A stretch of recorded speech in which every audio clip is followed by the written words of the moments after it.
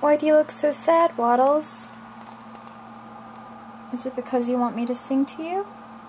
Alright, I'll sing that favorite hymn of yours, All That We Have, by Gary Ault.